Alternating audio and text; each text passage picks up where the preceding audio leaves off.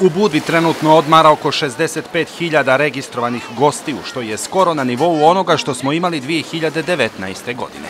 Međutim, dobra posjeta, kažu ugostitelji, u ovom slučaju ne znači i uspješna sezona kada su u pitanju prihodi. Efekat finansijski na 3000 turista imamo isti kao što kojega su imali 2019. sa 2000 turista.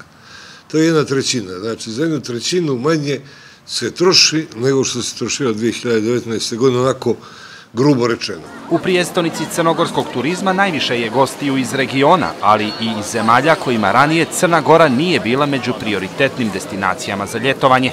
Pojavila se Ukrajina u mnogo, mnogo većem broju nego što smo očekivali, skoro deset puta više, i ovaj Kazahstan, koji iznadženje prijatno, prijatno iznadženje. Bilo je plan dva aviona, pa bilo je četiri, sad je devet aviona sedmično, lete direktno za Crnogoru. Turisti kažu da su zadovoljni uslugama i sadržajima u metropoli crnogorskog turizma koja je tradicionalno prepoznata kao mjesto sa najboljim provodom. Bila sam i prošle godine, prošle godine na primjer bilo mnogo manje ljudi, ove godine previše velika je gužva, ali je provod dobar. Ove godine je mnogo bolja sezona nego prošle godine u Budu, ima dosta više ljudi zato što se otvorila sezona napokon. Što se tiče ove sezone, u odnosu na prošlu, bar za deset puta bolja, i po posjećenosti i po svemu. Puno stranaca, normalno, dođu iz drugih krajeva, žele da se provedu u Budvi.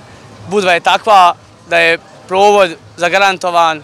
Radulović smatra da bi sezona bila još bolja da je nastavio da radi Montenegro Airlines. To će svaki dan sve više da se vidi, jer Air Montenegro, ovo što leti, to je dobro, ali on ne može da domjesti ovaj, ono što je davao Montenegro Airlines. Naročito u predsezoni i u podsezoni. Očekivanja u Budvi od postsezone su velika, a da li će biti gostiju zavisit će od pandemije koronavirusa.